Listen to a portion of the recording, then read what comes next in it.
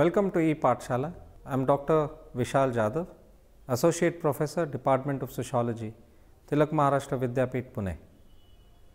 Today we are going to look at a module called Methodology, Science, Values, Objectivity and Ideal Types of Weber and this comes under the paper called Classical Social Theory. By now you must be quite familiar to what Weber's ideas were and what his theorizations were all about. His understanding of Verstehen, which basically means interpretative sociology or interpretative understanding of the life worlds around us, provides a very incisive, a very deep kind of subjective understanding of how power and how social relations are organized in society. This particular module will try and understand how he develops a methodology of understanding the social action of individuals and the social change that takes place in society. What are the scales that he uses and what are the methods that he develops.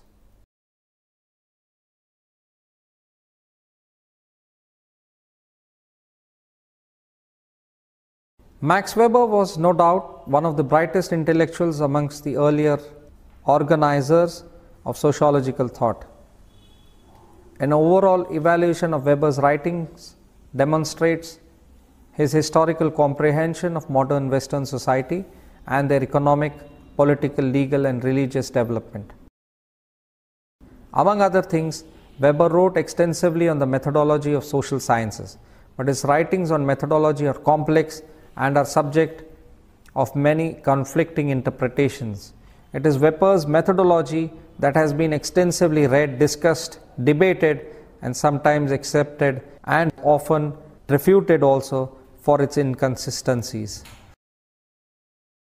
Weber's approach to social theory was a central feature of his work, overall work. By and large, Weber was a modernist in his overall approach to social thought. Considering the two classical sociologists, Marx and Durkheim, Weber had a modernist perspective which also reflected in his methodology.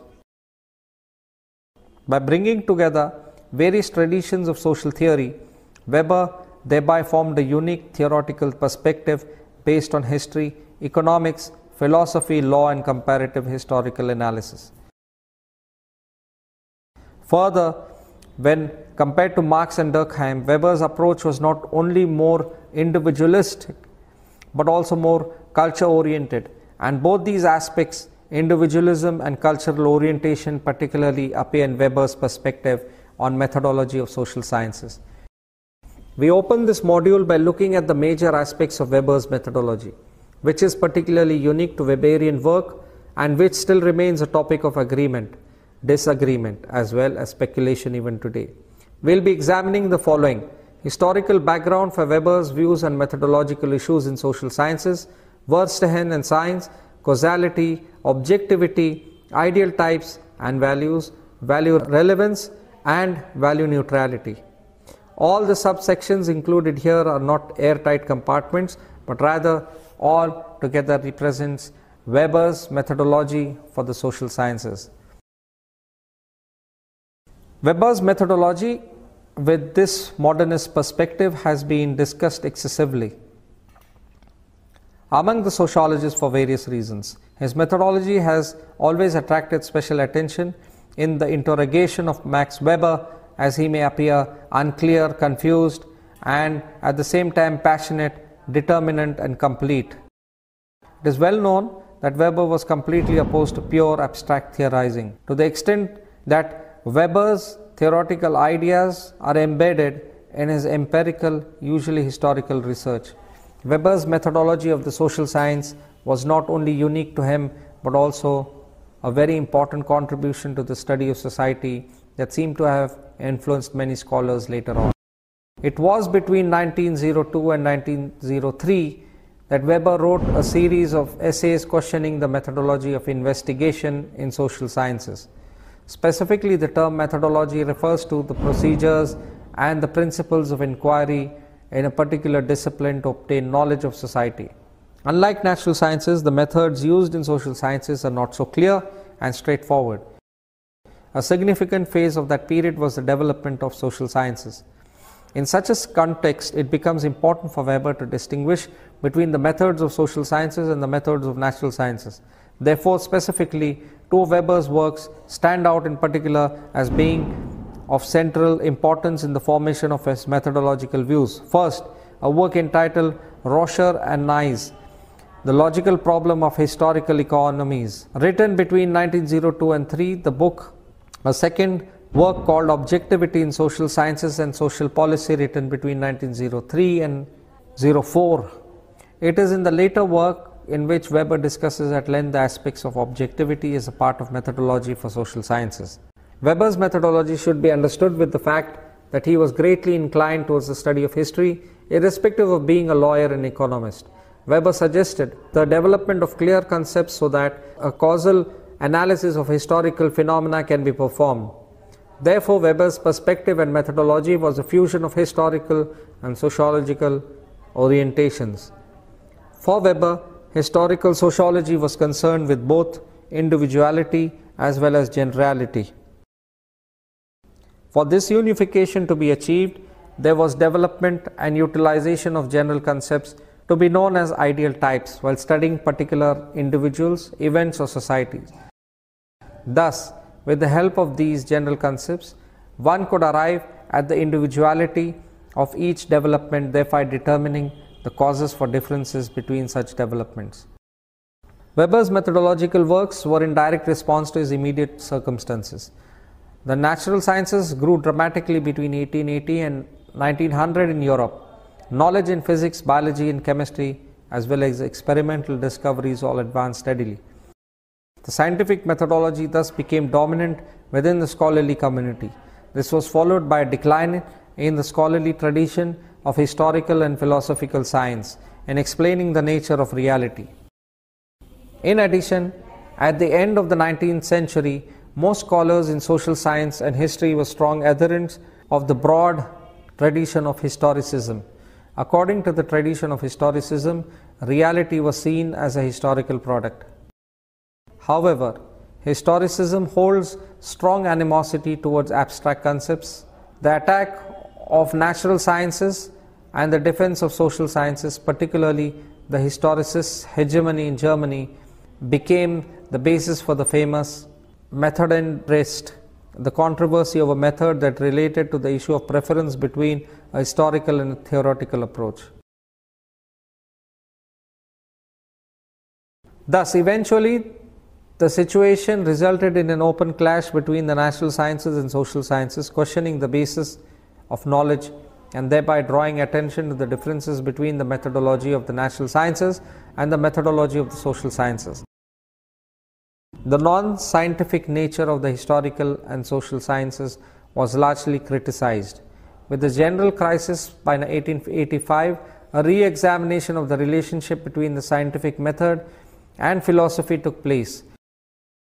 By 1890, a movement popularly known as Neo Kantianism, a return to the work of Immanuel Kant, emerged in order to resolve the problem and thereby questioning the validity of scientific knowledge in itself. Kantianism can be considered the first truly secularized modern scientific methodology.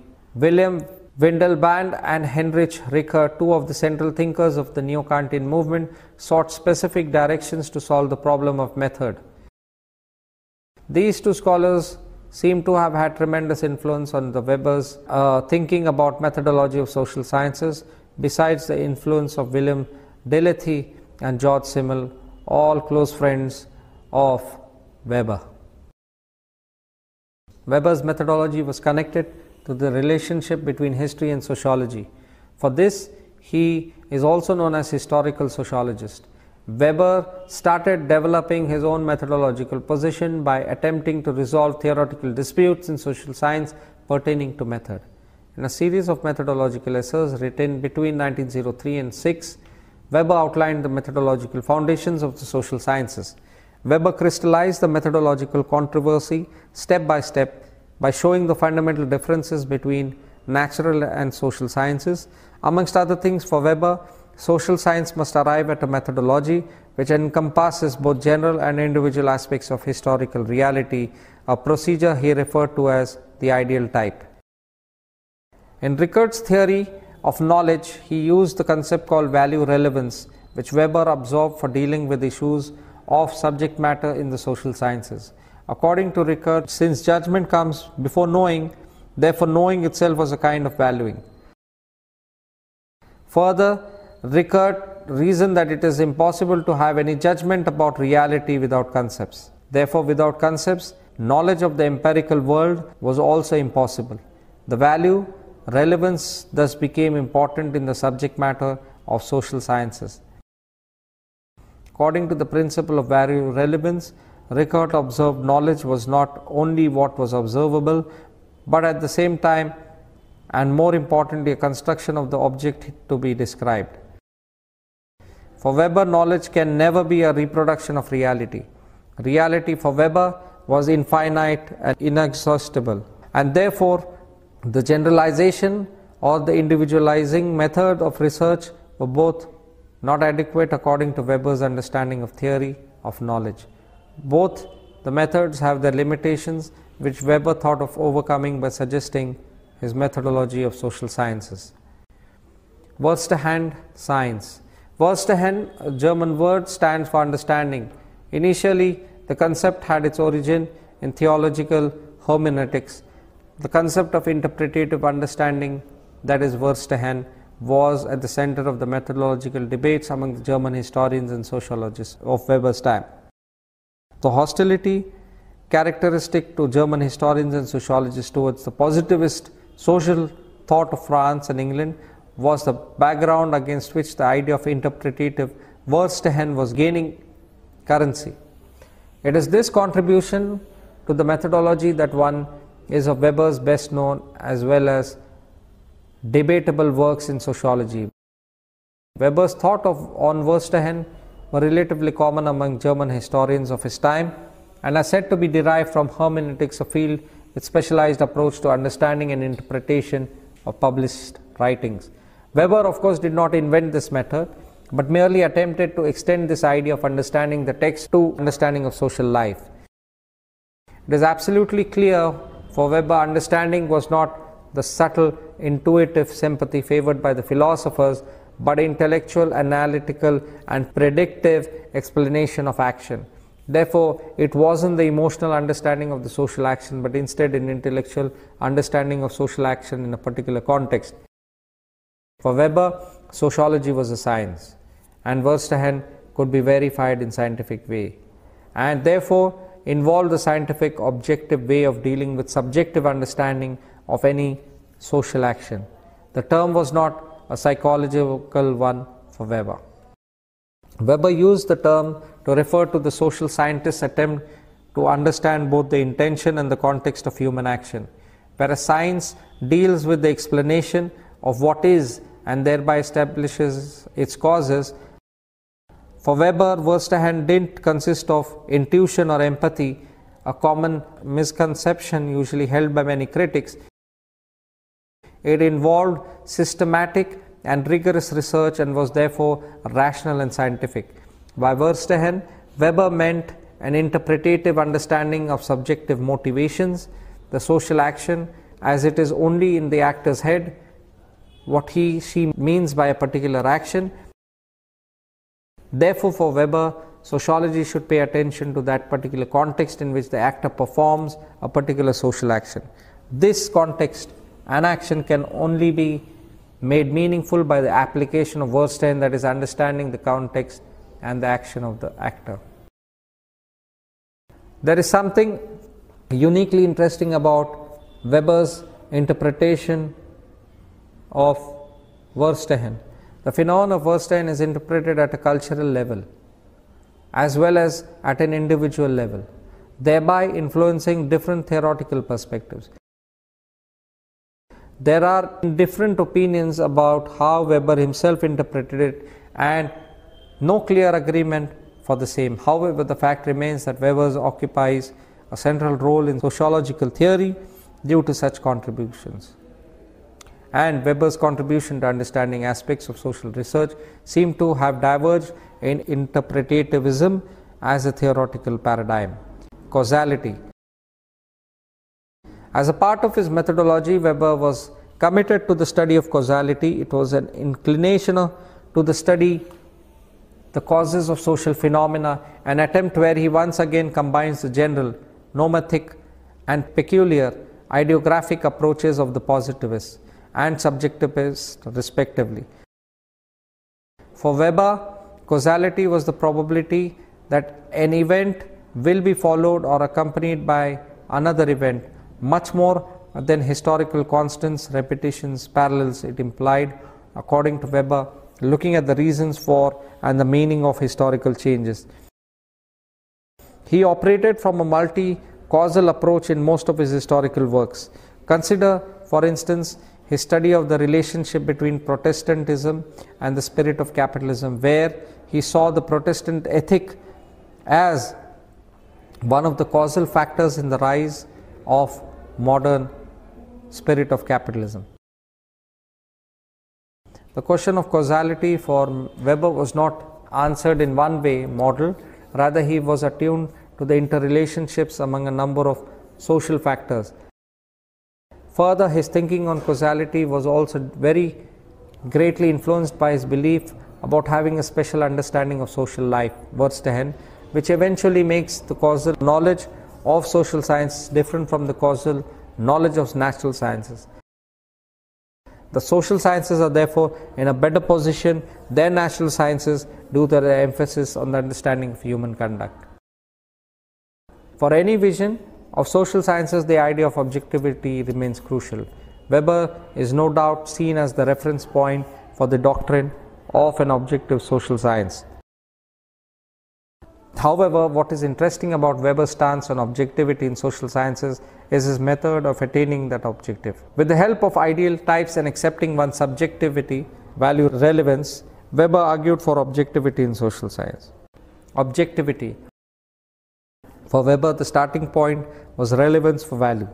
Weber argued that by having value relevant starting points, the historian does not have to be unobjective. The causal link between means and the end however, should be objectively demonstrated.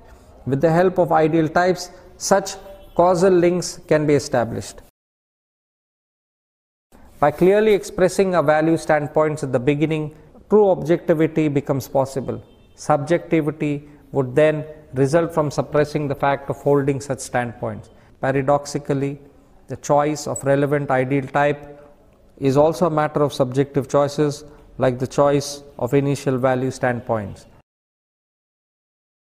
Therefore, it should be remembered that by objectivity, Weber did not consider it as the same as value neutrality.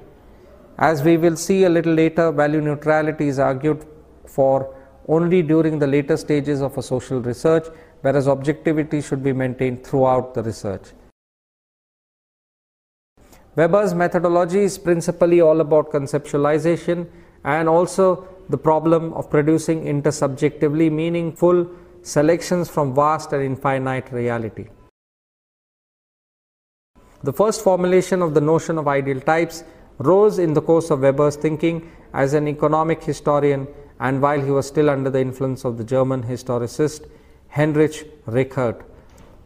Weber's concept of ideal type was first developed by him in a writing entitled Objectivity in Social Sciences and Social Policies published in 1905.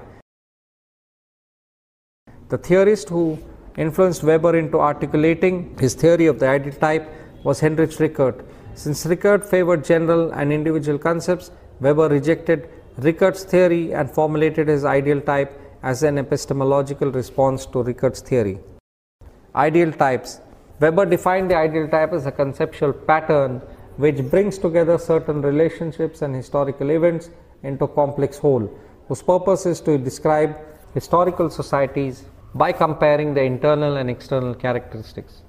Weber used the ideal type as a methodological concept, a technique to describe the comparative features of different societies by outlining the distinct and social characteristics. The ideal types have indeed played a critical role in Weber's work and not just in empirical research. For Weber, it was the responsibility of sociologists to develop conceptual tools in order to understand empirical reality. However, such concepts are only tools and should not be confused with reality itself. The ideal type can be seen as the sum total of concepts which the researcher constructs purely for the purpose of research. Just as reality is infinite, Weber maintains that no concept can give us complete diversity of phenomena. However, Weber suggests ideal type as a solution. The term signifies ideal, typical, distinctive characteristic or essential traits or elements of the phenomena. Here it should be remembered that ideal does not mean ethical, that it has nothing to do with what is exemplary. At the basic level, an ideal type is a conceptual construction of a social scientist on the basis of his or her and theoretical orientation so as to capture the essential features of some social phenomena. The ideal type is a model, not a hypothesis, although specific hypothesis may be derived from it so as to compare it with empirical facts. So, ideal types are like measuring rods that facilitate understanding of the essential characteristics of a particular phenomena. Although these are constructed by the social scientists, ideal types are not illogical. At the same time, as Weber suggests by calling it a utopia, such a concepts only attempt to understand the social phenomena in a prescribed form. In fact, the ideal type concept is a realization of the principle of sociological rationality, argued by Weber as his basic and original contribution to scientific analysis. For Weber, ideal types are like heuristic devices, not laws, meant to facilitate empirical research for understanding specific aspects of the social world. Also, Weber suggests to derive the ideal types inductively from the real world rather than deriving it deductively from an abstract theory as a carefully defined set of concepts. This, Weber says, will not help social scientists to understand the social phenomena. However, by real world, Weber does not suggest ideal types to be mirror images, but rather one sided exaggerations of the essence of some social phenomena, neither too general nor too specific. For Weber, science means unending research. And since he believed in non existence of timeless concepts in social sciences, he argued for developing new typologies that fit the constantly changing societies. With this, Weber contends a researcher can escape from his or her subjectivity as the ideal types reflect these in the very objective way. The concepts included in the ideal types are not only pure, exaggerated, or one sided, but also supposed to have a dynamic causal aspect within the society studied. Weber used the word teleological in his first presentation of the ideal type approach. However, Weber was not seen to be consistent in his usage of ideal type in his substantive work, irrespective of his clear definition.